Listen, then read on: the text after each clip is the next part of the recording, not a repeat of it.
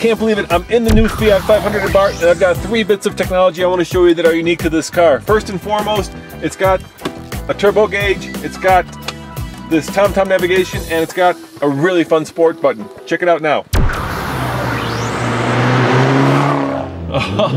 Even inside the cabin, you have to love the sound of that 1.4 liter turbocharged engine.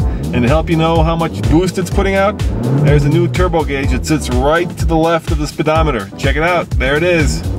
It also tells you to shift, but heck, you can use your ears for that.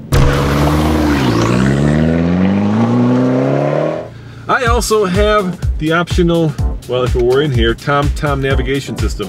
What's cool about this is that you can put it right here and you know where you're going. The downside is it blocks your view and of course I'm missing the actual TomTom unit. But if it was here, we'd know where we were going.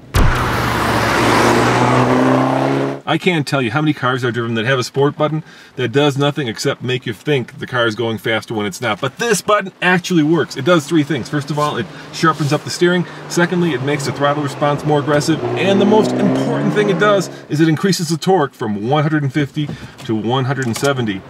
And man, you can feel that every time you drive the car. As always, this is Roman Mica with our very first one minute speedy tech demo, driving away, of course, in sport mode in the new Fiat 500 Abarth. See you next time. oh, that is so much fun.